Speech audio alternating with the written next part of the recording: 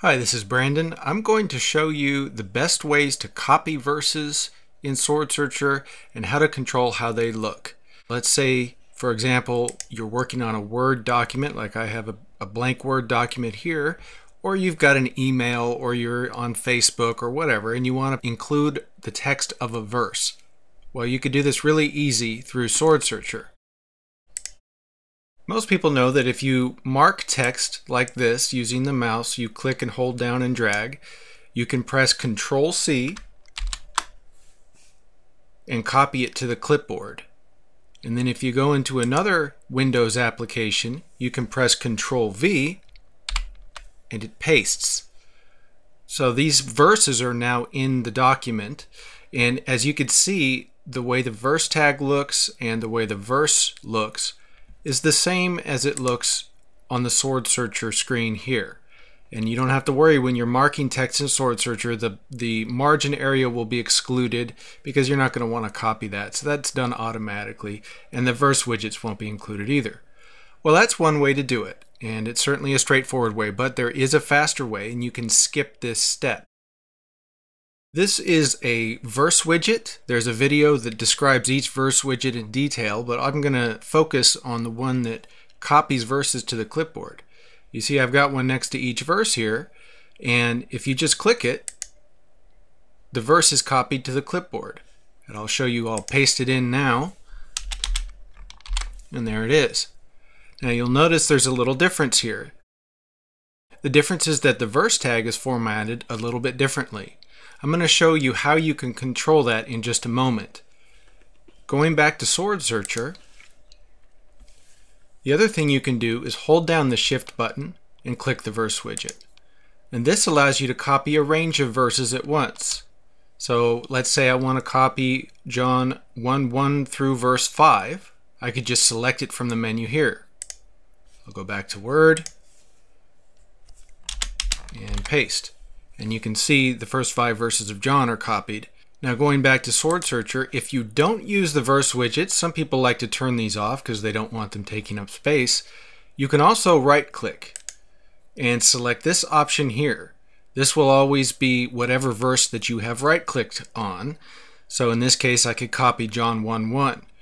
Or if you want to select verses like this, notice I am starting kind of inside the verse and ending inside the verse. But if I right click on, on the text that I marked, I can select copy John 1 1 through 4 because it knows that I've marked in those four verses. So if I do that and then go back to Word, you can see the first four verses are copied and it's the entire content of the verses, not just the partial selections I've made. Now what if you want to control the way the text looks or the way the verses are formatted? Well, you could do that very easily with SwordSearcher. Going back to SwordSearcher, I'm going to clear my selection. On the Edit menu, I'm going to select Configure Copy and Export Formatting. First thing you see here is a sample selection of verses and how they will look when they're copied. You can control the basic formatting with these options here, the main style. So, for example, if I click C, you can see that the verse tag has been moved to the end of the text. If I click E, now each verse is on its own line. If I click G, the verse tags look a little bit different. So you can experiment with which ones look the way that you need them to look when you're pasting content into your Word documents or your emails. And H, for example, uses an abbreviation instead of the full book name. Other options include using the version tag. I've disabled it. I've turned it back on. Whether or not the verse tags are bold. For example, there I've turned off bold. Maybe you don't need it to be bold. And whether or not you want the paragraph markers to be included in the text. These are the pilcrows, these symbols that indicate a new paragraph. Now that I've made some changes, I'll show you how this looks. Click OK. Let's copy the first two verses of the book of John. I'm going to shift click on the copy verse widget. Copy John 1 1 to verse 2. Go back to Word And let's see how this looks now. Pressing Control V again. Now you can see the choices I've made are now reflected in the style of the text that I've pasted in. Uh, in particular, the way that the verse tag looks. Now what if what about the font? Well, as you can see in this document, I'm using uh, Times New Roman as my standard text font. Anything I type shows up in Times New Roman. And since I'm pasting it in, Microsoft Word is using the same font for the pasted verse text. Well, what if you have a different font that you want to use for your verse text? You could do that too. Going back to SwordSearcher, configure copy export formatting again off the edit menu. Now this option controls what font is used for the pasted text. I've chosen Segoe UI at 11 points. But the default option says let the paste application choose the font. That means that for most applications like Word, that application will decide what font is used when you paste. What you can try is use my font on the clipboard. This makes SwordSearcher try to force the other program to use the font you've selected. So I'll make this change and click OK.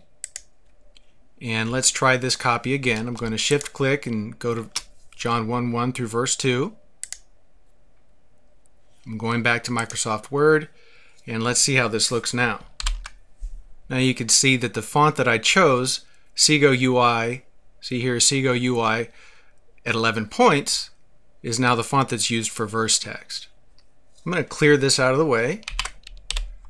Now, what if you're typing text along like that and you know what verse you want to copy in? Well, you could go back to SwordSearcher, find it, and copy it with the methods I've shown you, but there is a shortcut. In SwordSearcher, you can use a feature called Verse Auto Paste. Basically, this just lets you skip some steps. Anytime SwordSearcher is open and you're in another application that accepts text input, you can press Control Alt V all at the same time, these three keys at the same time. What happens is SwordSearcher comes to the front and asks me what verses I want to copy. I'm going to try Genesis 1, 1 through 5.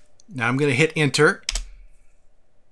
Word comes back and the verses that I selected are pasted in for me automatically.